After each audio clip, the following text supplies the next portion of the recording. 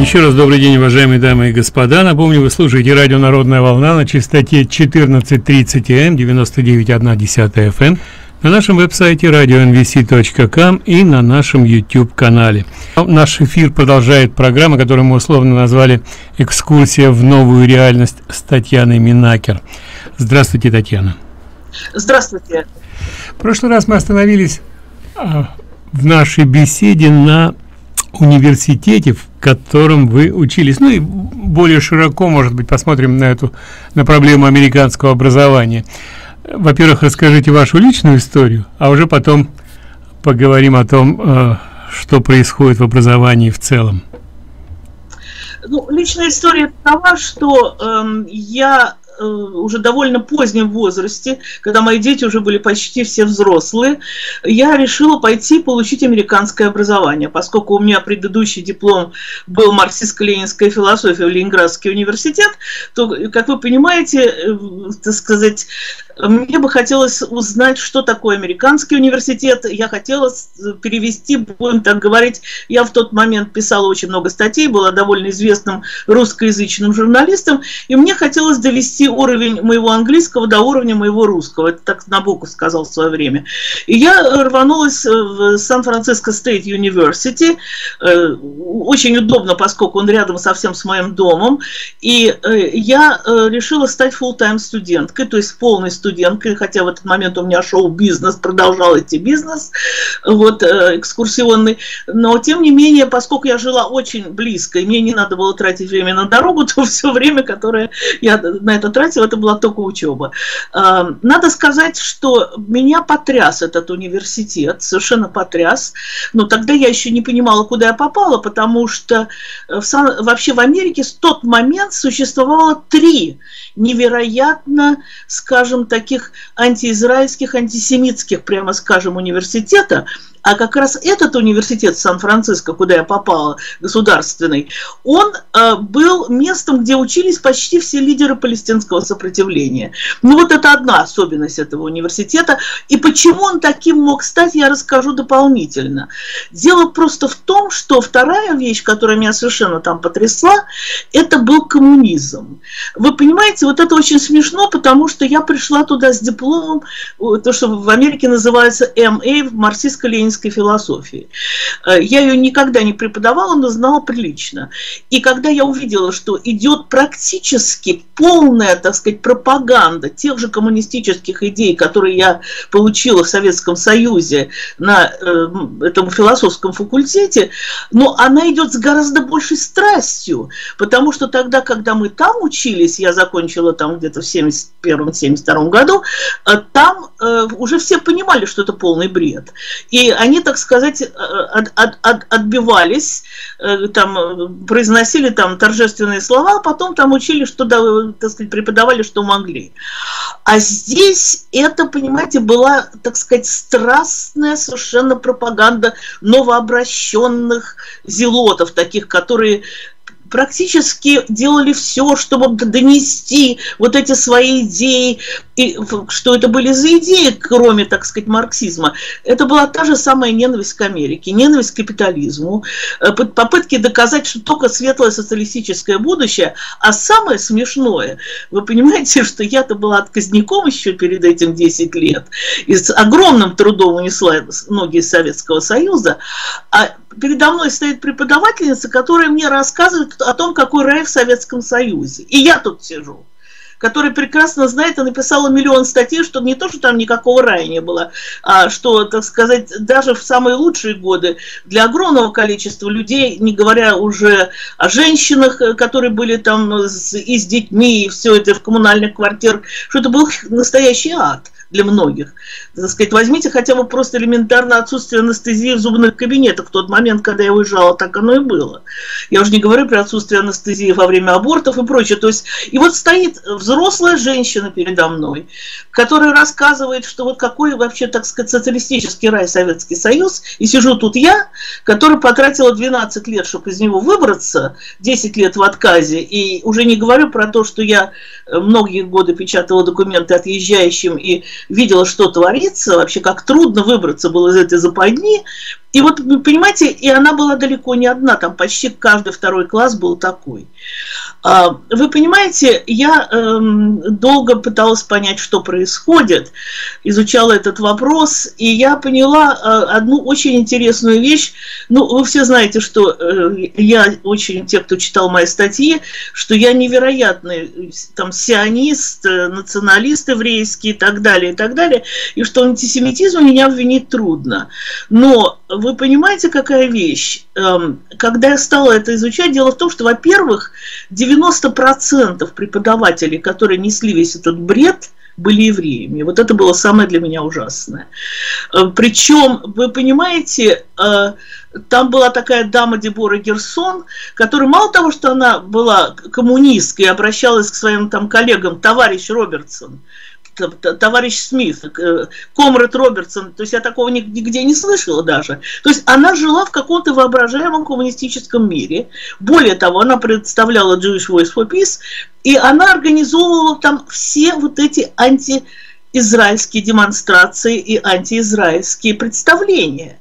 То есть она возила палестинцев с университета в университет, доказывала, так сказать, давала им возможность выступить, задавая им вопросы вообще, так сказать, всякие провокационные.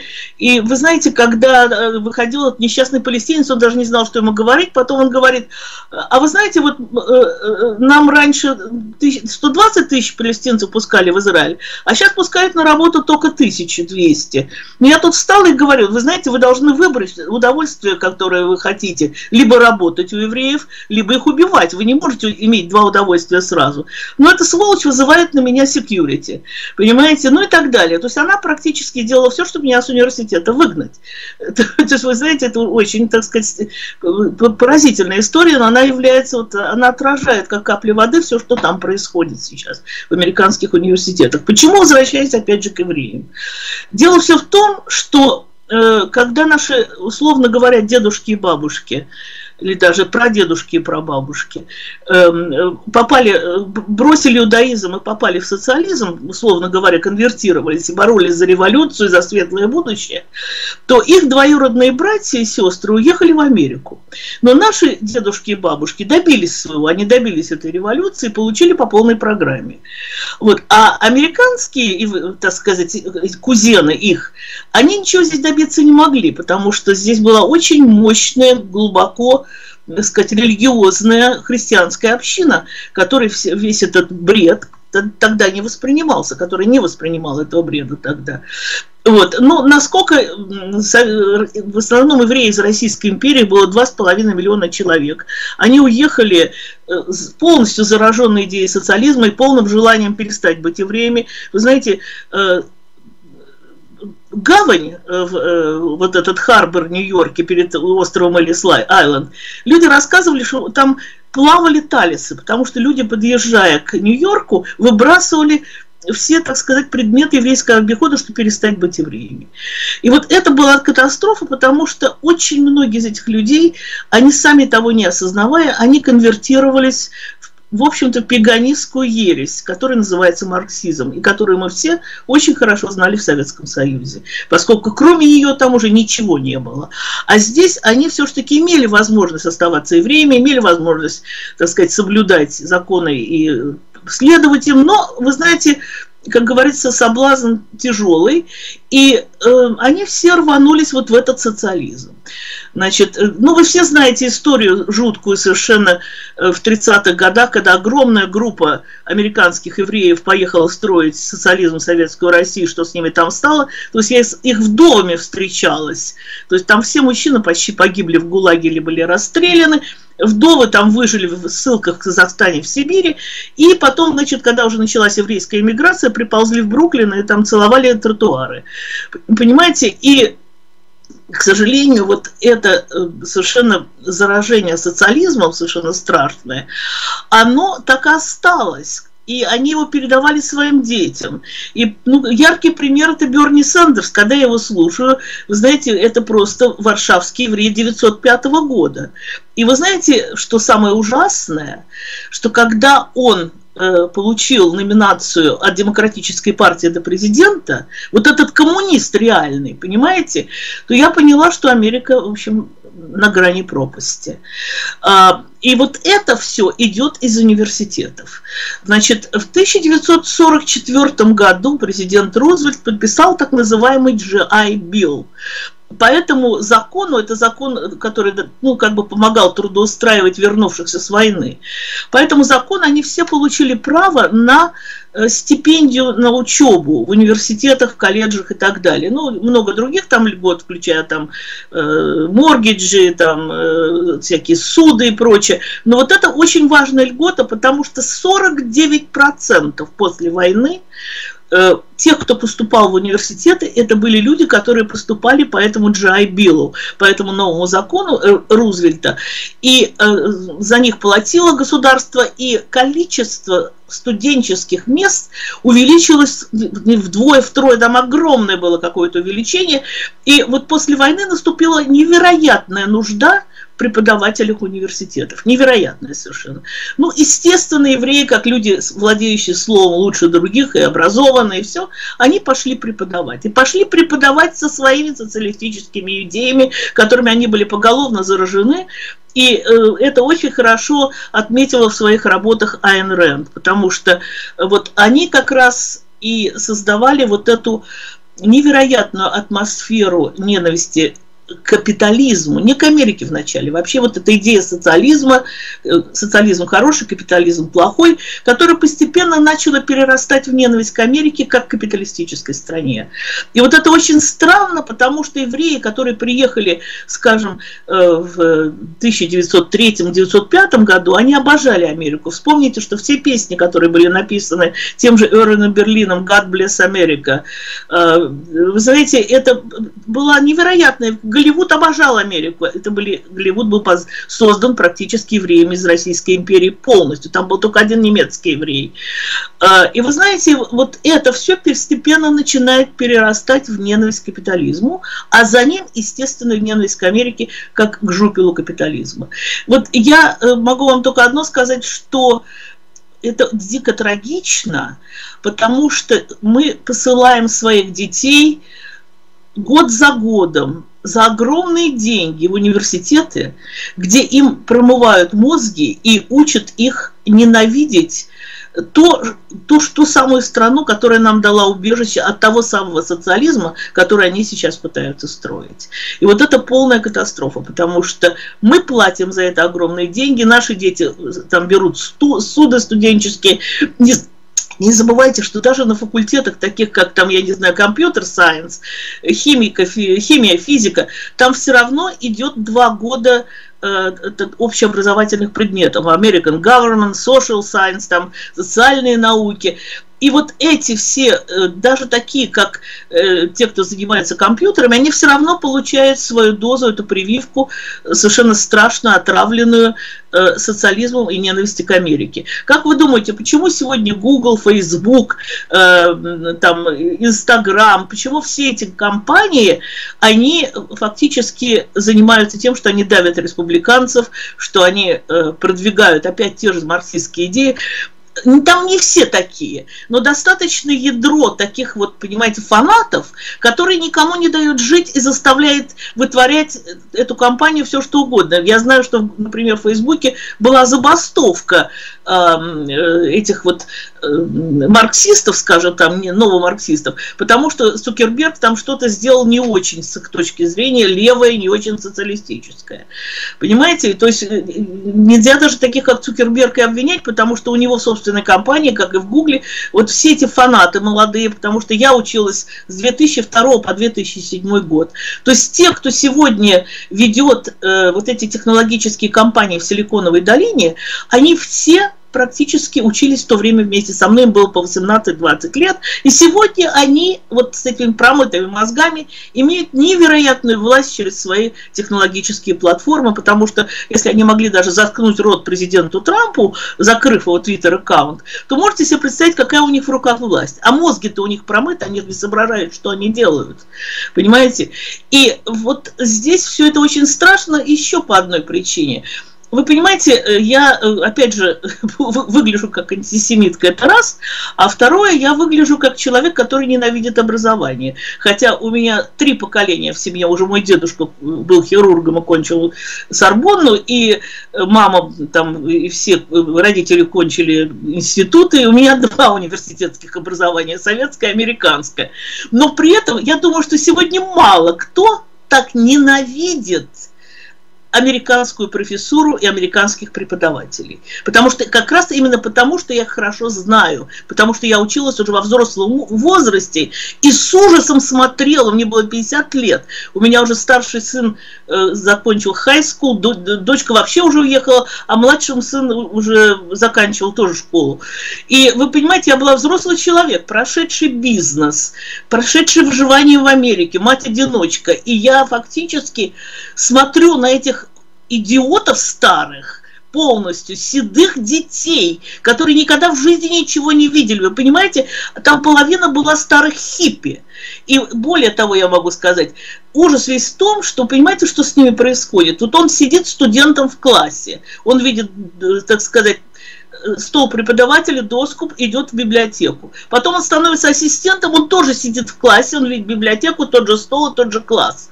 Потом он становится профессором. Вы понимаете, ужас в том, что у них ни у кого нет малейшей капли жизненного опыта. Понимаете, это более того, поскольку для того, чтобы получить те, э, там, защитить эти диссертации, особенно по социальным всяким наукам и так далее, надо прочесть миллион книг. Понимаете, в Америке чтение книг, когда вы сидите, уткнувшись в книгу, а вокруг происходит жизнь, и вы в ней не участвуете, у вас не накапливается опыта того, что называется сцепление с реальностью. Вы знаете, вот мне так странно повезло, что я в бизнес попала, вынуждена была попасть в бизнес. Так получилось. И вы знаете, это настолько другая реальность, что никому это не понять из тех, кто там не был. Понимаете, так, как сказала моя дочка один раз, мама, ты никогда в корпоративном мире не работала, ты не знаешь, что это такое такое. Так вот я могу сказать, что очень трудно людям объяснить, которые не занимались бизнесом, которые не платили тем, кто на вас работает, которые не оплачивали материалы, которые с ужасом не думали, что надо платить налоги. Им просто трудно понять. И вот представляете, здесь имеется огромная группа профессоров, преподавателей университетов, которые думают, что они все знают о жизни. Они ничего о ней не знают. Они знают только книги. Но вы понимаете, одно дело врач, который оперирует, или врач, который читал о том, как оперировать. Вы его допустите к больному? Никогда в жизни. Понимаете, он сначала на трупах должен научиться резать их. Понимаете, а если он никогда в скальпеле не брал? Как вы можете по его, а потом он будет, сядет и будет вам писать руководство о том, как вести хирургическую операцию. Или вы можете себе представить человека, который никогда в жизни не водил машину, что-то почитал об этом, а потом он пишет manual, то есть он пишет руководство, как вести машину. Вот это то, что сегодня происходит в Америке. Вы понимаете, что все эти старые идиоты, мало того, что они сами идиоты и испортили себе большинство из них, это люди с совершенно разрушенными жизнями. Я очень многих их знаю. Самое главное, что они очень хорошие люди. У меня много друзей среди них, причем свит. Очень хорошие, добрые люди, которые что-то такое тонкие, все. Но они идиоты. Понимаете, они ничего не понимают в жизни.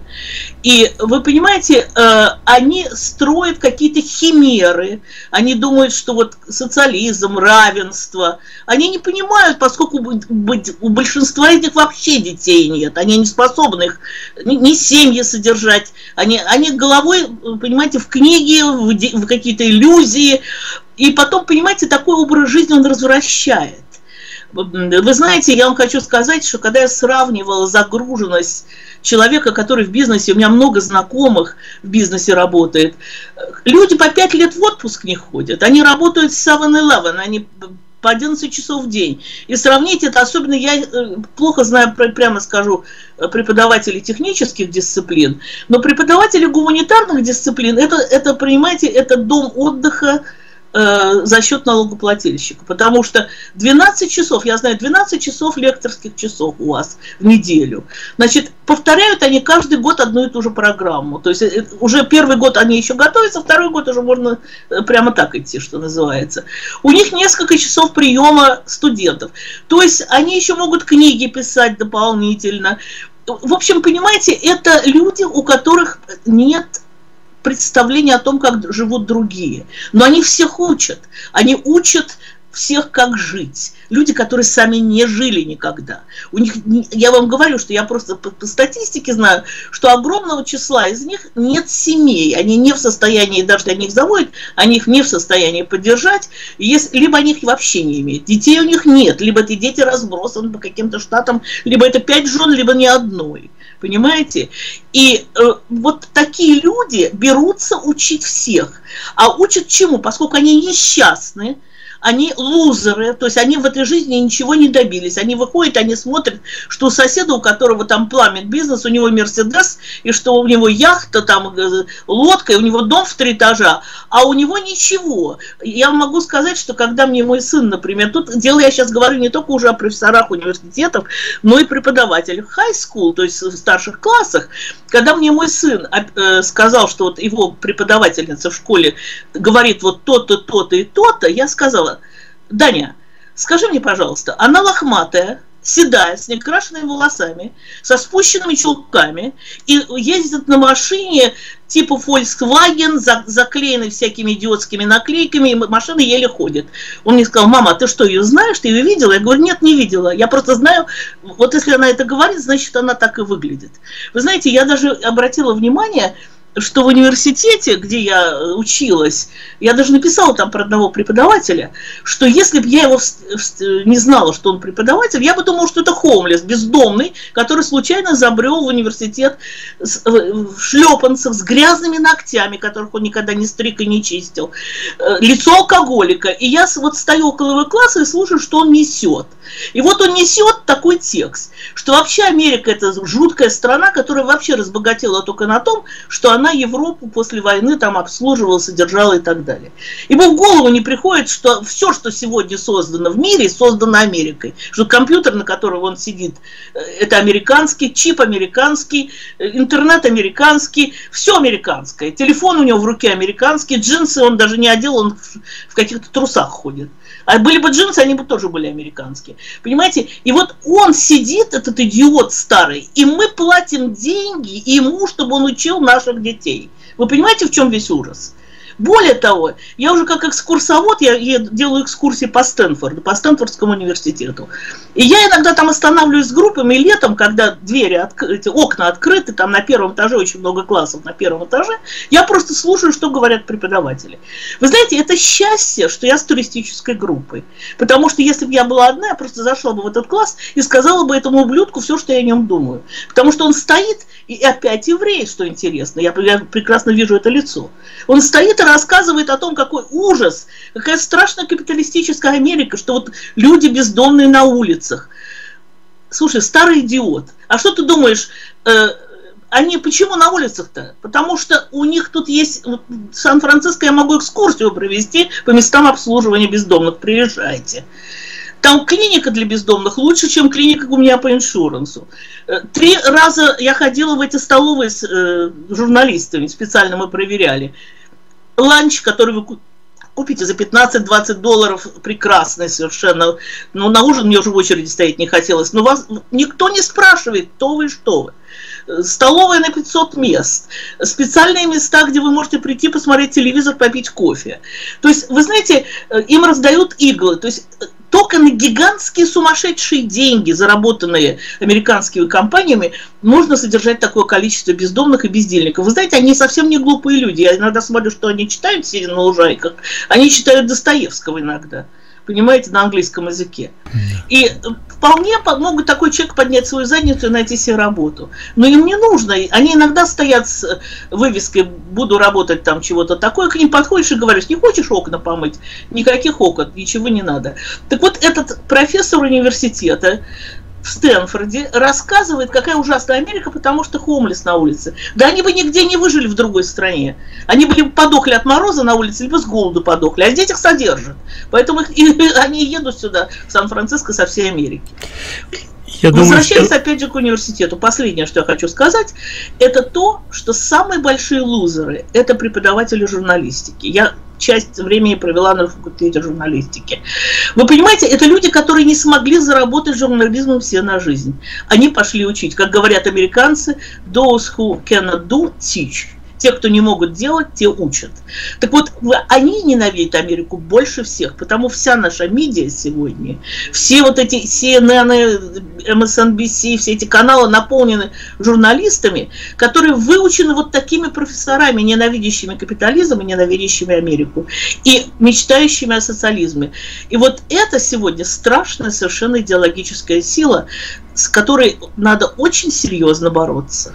К сожалению, К сожалению они свои, свои идеи начинают прививать, детям уже, детям уже в начальных началь... классах, в начальных школах.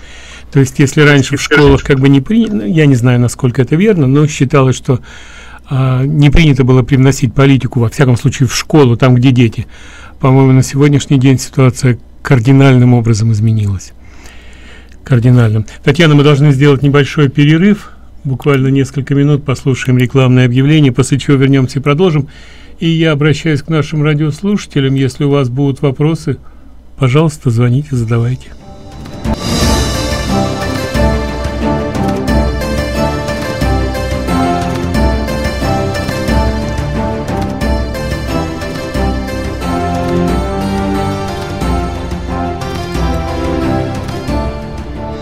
Возвращаемся Возвращаемся в программу, которую мы условно назвали «Экскурсия в новую реальность» с Татьяной Минакер.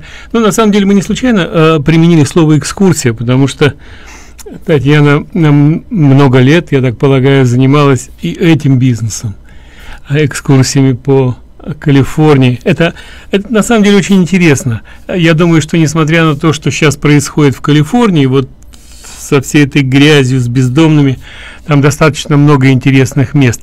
Татьяна, мы к этому обязательно еще вернемся. Пока давайте попробуем пообщаться с нашими радиослушателями. Не возражаете? Пожалуйста. Добрый день, пожалуйста, вы в эфире. Алло, здрасте. Здравствуйте. Я задам вопрос вашей гости Татьяне. Во-первых, большое спасибо вам за передачу. Послушать умного человека очень приятно, как бальзам на душу. Я тоже приехал в Советского Союза давно еще, в 90-м году, от коммунистического рая. И тут русскоязычные, которые поприезжали, точно, есть бывшие комсомольцы, коммуняки, тоже точно так, такие, как, как бы говорится, профессора и прочие, это америк, американцы, которые тут родились. Дай Бог вам здоровья и вашей семье, чтобы таких людей было. У меня вопрос, как всю эту шваль нейтрализовать? Вы знаете, эм, сегодня мы э, находимся в ситуации оккупированной, как на оккупированной территории. И вы знаете, эм, я вспоминаю, если вы помните, после полного разгрома Иудеи и взятия Иерусалима римлянами, осталась только одна иудейская школа, которую римляне позволили. И вот из этой школы выросло все сегодняшнее еврейство. Вы знаете, мы должны все-таки сидеть со своими детьми, читать им книги и объяснять. Это самое главное. Причем с детьми начиная с трех лет. Потому что уже в пять лет их уже промывают, понимаете? То есть им объясняют, что если она девочка, то она это не значит, что она девочка, она может выбрать себе быть мальчиком. Или там еще что-нибудь такое, что все полицейские плохие, потому что они убивают черных.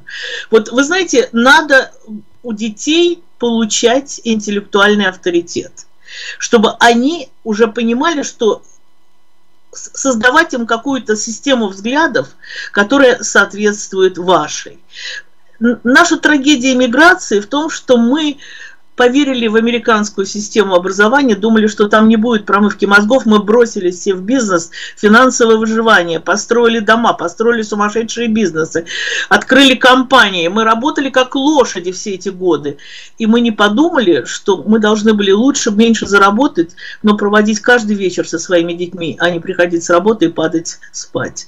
И вот это, конечно, мы не знали, это не наша вина, это наша беда, понимаете? Вот, поэтому что я могу сейчас сказать?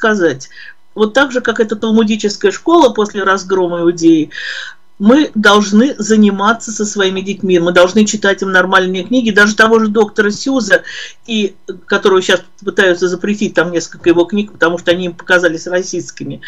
Э, надо читать детям, надо читать хорошие книги, быть с ними, и чтобы возникал общий голос у вас и у вашего внука, ребенка, вот этого, чтобы у вас общее понимание было и одни и те же слова. Тогда потом вы сможете им реальность объяснить этими словами. Давайте попробуем принять следующий звонок. Добрый день. Слушаем вас. А, сорвался звонок. Хорошо, перезвоните 847 400 5200. Добрый день, пожалуйста. Здравствуйте. А, уважаемая Татьяна, вот а, как вы считаете, почему так получилось, что основная масса американских евреев пошла по, а, так сказать, по левому, по левой стороне дороги, э, э, бодро а, идет коммунизм. И вот почему-то именно водораздел прошел по, а, э, по, по, по религии, по если э, человек ортодоксальный, они идут, они, они считают, что э, прав, э, правое дело, э, так сказать, консер, консервативные идеи, это правильно.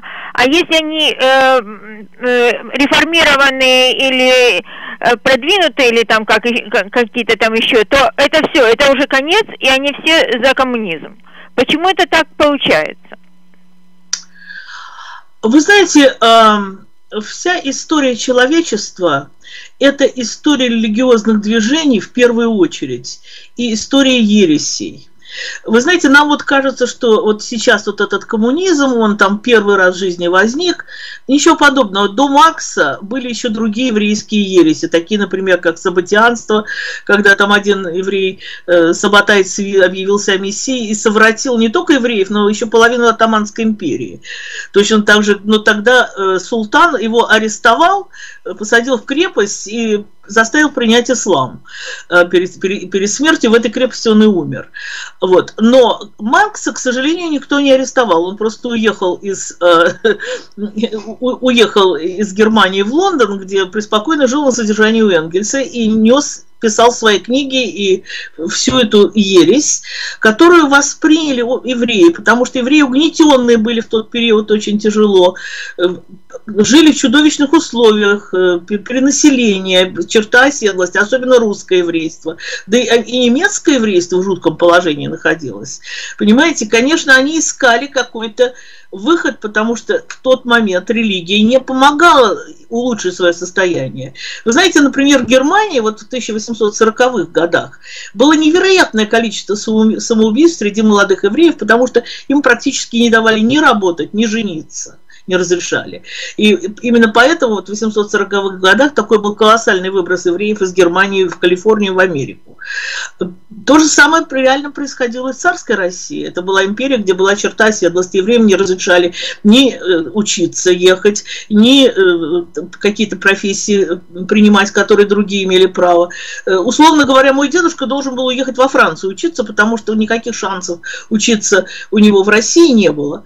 И естественно, что люди искали какой-то выход в какой-то идеологии, понимаете? И очень многие из них бросились в социализм, потому что социализм, во-первых, обещал им равенство. Они были угнетены, и к ним как к париям относились практически.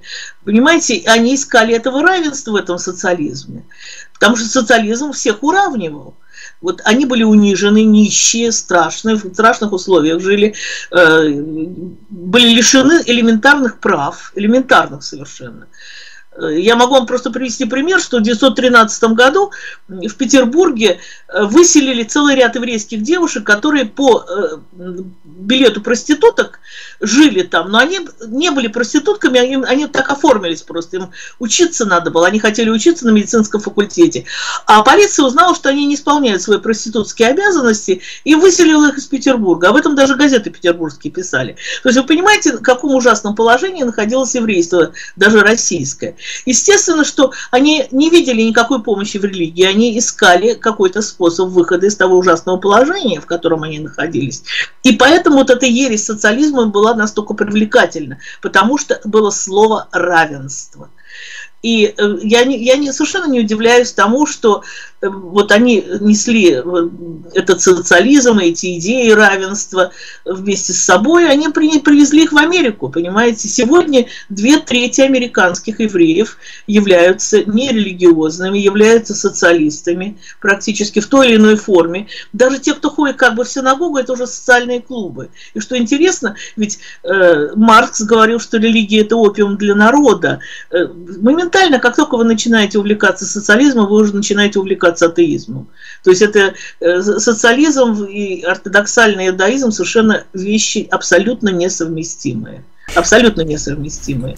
Потому что если вы элементарно возьмете а, коммунистический манифест и положите его слева, а справа положите 10 заповедей, вы увидите, что они абсолютно противоположным друг другу. Что либо левое, либо правое. Этого невозможно вместе делать. Понимаете? Поэтому э, это катастрофа, что евреи вот выход нашли э, вот в этой ереси. Это понятно почему, но, понимаете, это не тот выход, который надо было искать. Ну, понятно, это было, это было причиной, скажем, э, в 20 веке. Были основания, было нечто, что подтолкнуло их к левому движению, и это действительно так, это объяснимо. Но то, что происходит сейчас, или это такая уже традиция, причем я разговаривал с некоторыми, вот, скажем, в частности, во время выборов 16 года, разговариваю с одной женщиной, я говорю, ну вот два кандидата, есть Трамп, есть Хиллари Клинтон. Она говорит, ну да, конечно, Хиллари Клинтон, она такая криминальная, она такая-такая, но мы все время, вся моя семья испокон веков голосовала за демократов, поэтому как-то уже я не могу себе позволить, не знаю, вот мы традиционно голосуем за демократов. Вы понимаете, что обычно ментальность отстает от реальности всегда, иногда на целое поколение. Понимаете? И э, вот эти евреи, которые всегда голосовали за демократов, они, когда сюда приехали, вы знаете, они тоже здесь встретили антисемитизм. Вы знаете, они видели антисемитизм здесь, конечно, не такой, как он был в царской России, скажем так. То есть они могли селиться, условно говоря, где могли и так далее. Но все равно куда-то их не пускали, где-то их оскорбляли, э, где-то какие-то... Э, ну, вы, вы поймите, что э, вопрос ведь... Э, антисемитизм здесь тоже был, но вопрос в градусе антисемитизма, понимаете? Э, но они все равно, поскольку они не видали очень страшного антисемитизма, то их тот антисемитизм, который был с правой, условно говоря, э, с правой христианской, евангелистской э, стороны там церкви, он их оскорблял, и очень, так сказать, им неприятно это было, и они видели в них своих врагов, понимаете? Вот этот очень важный момент. Они видели врагов, и они тоже, именно поэтому это одна из причин, по которой они так хотели, это общество, вот как бы построенное на вот этом они хотели его уничтожить и создать более для них справедливое. Понимаете? И вот это тоже катастрофа, потому что на самом деле э, нет более справедливого общества, чем то, того, которое на Judeo-Christian values, на еврейско-христианских ценностях, которые на Библии, на самом деле это самое справедливое общество. Вы абсолютно правы. То, что было в 20 веке, это действительно так. Они столкнулись с антисемитизмом здесь, и э, понятно, что почему они избрали именно этот путь. Но я еще раз говорю, то, что происходит сейчас, скажем, откровенный антисемитизм в демократической партии не, не отрезвляет ну, массы евреев, которые голосуют за демократов. Или они уже настолько переродились, То есть, опять мы можем, так сказать, удариться в, в определение, кого считать евреем, кого не считать евреем.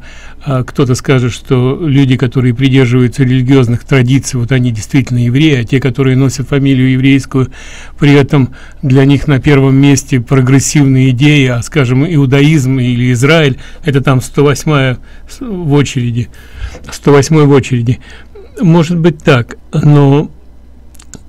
Вы знаете, иудаизм говорит, что еврей определяется тремя вещами. Это любовь к Торе, это любовь к Израилю, вот, э, к этому священному государству, священной стране, символ, символ еврейства, и любовь к, к еврейскому народу. Вот эти три вещи определяют еврея понимаете, а, на сегодняшний день среди христиан, если определять таким образом, гораздо больше евреев, чем среди евреев. Понимаете, потому что они читают Ветхий Завет, они помогают э, государству Израиля, христиане за Израиль, это колоссальное движение совершенно, вот, и э, они хорошо относятся к евреям. Чего нельзя сказать о самих евреях, потому что если вы возьмете, например, поведение как э, таких газет, как Нью-Йорк Таймс, Таймс во время Второй мировой войны, или поведение вот этих голливудских могулов, которые ездили э, с фильмами на цензуру в, э, нацистское консульство, э, где им, им там выбрасывали еврейских сценаристов, выбрасывали еврейских актеров, еврейских режиссеров, и они, поджав хвост, возвращались и все это вырезали, меняли и продавали потом этот фильм в Германию, понимаете? А это были люди, которые это делали, были сами евреи, понимаете? Поэтому, да. понимаете, капо были везде, всегда, это раз, а потом еврейство, вот те евреи, которые мы сегодня называем евреями, которые как бы ходят в синагогу, им плевать на Израиль, абсолютно наплевать. Для них это какая-то страна, они с большим интересом там куда-нибудь э, поедут на, на Джамайку отдыхать. Э, большинство из них, 70% из них там никогда не было и никогда не будет. И никого у них там нет. У нас, особенно первое поколение вот здесь эмиграции Советского Союза, мы все там имеем друзей и родственников. У нас сердце болит за эту страну. Второе, те американские евреи, с которыми я имела дело в университете, какая Тора, о чем вы говорите? Они атеисты, озверевшие совершенно. Я таких сумасшедших коммунистов-фанатиков даже в Ленинградском университете на, на философском факультете не видела. У нас там была одна сумасшедшая преподавательница научного коммунизма еврейка, так ее все русские боялись, такая она была сумасшедшая. То же самое и здесь, понимаете, вот эти полусумасшедшие евреи, которые, так сказать, ушли от иудаизма, а Тора это, в общем-то, вы знаете, вот э, как вам сказать, она якорь определенный, она определенный якорь и психологический, и в смысле образа жизни для евреев. И когда они ее оставляют, они превращаются просто, знаете, как корабль, который брошен в океане на, на все ветра, и шансов у этого корабля вы, выстоять никаких нет. Понимаете? И вот эта катастрофа, потому что обычно такие евреи, они приглашают Холокаст на себя. И еще одна тема. Ну, понятно, с американцами, которые родились здесь, которые прожили всю жизнь здесь, а не хлебнули лихо, не, так сказать, не вкусили всей прелести социалистического рая, отчасти это как-то объясняет их поведение и так далее. Но вот, скажем, люди, которые приехали из Советского Союза, которые поддерживают демократическую партию, начинается а, дискуссия типа, да какой социализм? Не, не, демократы это не социалисты, социализм они не строят, они точно знают определение, техническое определение социализма, что средства, а, собственность на средства производства принадлежит государству и так далее. То есть, как бы для них вот, этот, вот это определение они берут и говорят, что нет, все, демократы к социализму не имеют никакого. Неважно, неважно под каким соусом, под каким названием происходит кардинальное изменение страны. Но то, что а, демократы говорят, а, или во всяком случае в, ш, Академия говорит, что капитализм это плохо, внушает им. Во-вторых, а, все эти идеи, как мне кажется, коммунистические, социалистические идеи, современными левыми используются с одной... Они не верят в эти идеи. Они их используют с одной единственной целью – захватить власть. Причем, ну, еще существует идея, которую они разделяют, это некое такое глобальное правительство, некое надгосударственное, никаких границ, никаких национальностей. То есть такой, такой глобализм. Вот идеи э, марксистские идеи, они используются единственной целью. То есть эти лозунги, они хорошо ложатся на слух определенной значительной части населения, а особенно молодежи. И еще раз говорю, они используют эти идеи с одной единственной целью захватить власть и никогда с ней не расставаться. Давайте попробуем принять звонок. Может быть, э, что-то интересного будет. Добрый день. Добрый день. Вы, вы тут обвиняете э, евреев, э, неортодоксов, а реформистов, что они не евреи. Если вы такие евреи, если вы так волнуетесь об Израиле, почему вы не поехали в Израиль? Вы задаете этот вопрос лично мне? Да. Я могу вам ответить. Я сидела 10 лет в отказе и вывозила семью по частям по фиктивным бракам. Если бы я была в Израиле, по который в тот момент не имел дипломатических отношений с Советским Союзом, мне бы ничего не удалось сделать. Я бы еще сегодня там сидела. Только а через Америку я могла это сделать. А у, меня к, у меня к вам вопрос. Э, вы так э, ненавидите э, капиталистическую систему, а почему же вы я, так...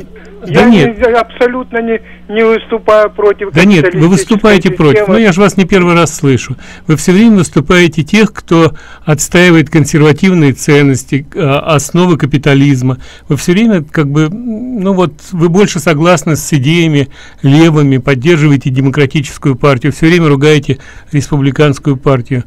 А у меня к вам вопрос, почему вы оказались здесь? Ведь есть достаточно стран, ну, может быть, по пальцам пересчитать, где идеи, которые вам более близки, а, они реализованы на практике. Почему вы не осели там, а приехали в эту проклятую российскую капиталистическую страну и при этом пытаетесь как-то ее изменить э, под, под свои левые идеи? От меня какое-нибудь э, оскорбление... Спаси... Но я же я, я же вас тоже не оскорбляю, я просто, ну, вы не первый раз звоните, я знаю ваши вопросы, я знаю ваши, так сказать, устремления. Сергей, может быть, пока э, ваш гость подумает там э, с ответом. Давай, давайте вернемся. Я помогу вам ответить, потому что я знаю очень много таких людей, как ваш э, сейчас человек, звонящий на, на студию. Огромное количество иммигрантов из Советского Союза уехало, не поняв ни откуда они уехали, никуда не едут. Понимаете, это было массовое передвижение, вот то, что называли колбасной миграцией. Когда там самолеты угоняли идеалисты еврейские там из Ленинграда, когда люди перебегали границу, там, э, когда они рисковали всем, и рисковали никогда... Татьяна, дорогая, вы знаете, у нас времени остается две минуты. Я бы хотел, чтобы мы вернулись к экскурсиям а, у нас времени не будет. Скажите, открывается постепенно Калифорния, можно приезжать туда, можно а, попасть на экскурсию с вами, чтобы послушать, посмотреть. Я в Калифорнии, кстати, ни разу не был. А вы знаете, Калифорния безумно красивый штат, она открывается. И, вы знаете, уже открылась, но я могу обеспечить, поскольку я э, частный экскурсовод, я делаю частные экскурсии. Я э, очень редко работаю на группы, э, хотя это, я начинала с этого еще в 1974 году. Я, кстати говоря, единственный экскурсовод в Калифорнии, который работал в штате Ленинградского городского экскурсионного бюро, который имеет два университетских образования, и что я еще имею, чего никто не имеет. У меня коммерческий driver's license, то есть у меня водительские права автобус, автобусника, понимаете? Вот. Я уже не говорю, что у меня опубликован миллион статей на русском и на английском, вот. а э, что я еще хочу сказать, что я обеспечиваю полную безопасность от заразы, потому что я сажаю вас в микроавтобус, где будет только одна ваша семья, и больше никого не будет. Э, я, как, так сказать, обеспечиваю эти экскурсии. Вы можете меня найти на моем веб-сайте travelart.center, я не знаю, тут видно или нет, название я пыталась написать, travelart.center. Travelart.center это веб-сайт, а мой email travelart тоже название компании Travel Art, очень легко. Yeah. Travel искусство, одним словом, Travel Art. at hotmail.com. Вот, так что э, я приглашаю, пожалуйста, приезжайте э, на экскурсии. Я даже могу вас обеспечить жильем очень хорошим. Квартиры с видом на океан. Который, который будет вам стоить дешевле, чем гостиница. Замечательно. Так что милости прошу. Э, вот э, я уже не говорю, что вы получите супер профессиональную экскурсию. К сожалению, очень много людей сегодня пытаются быть экскурсоводами. Э, не потому, что они хотят профессионалы, а просто потому, что ничего другого не получилось. Я профессиональный экскурсовод, я была экскурсоводом с 25 лет. Татьяна, вот, огромное что... спасибо. К сожалению, нас сейчас остановят, потому что будет social э, объявление да, социальное да. и так далее. Ну ничего, мы, мы с вами вернемся к этому вопросу в следующую нашу встречу. Немножко больше времени для этого отпустим, чтобы вы могли э, рассказать об этом. Хорошо? Пожалуйста. Спасибо ну, хорошо, большое. Счастливо. Спасибо. До следующей встречи.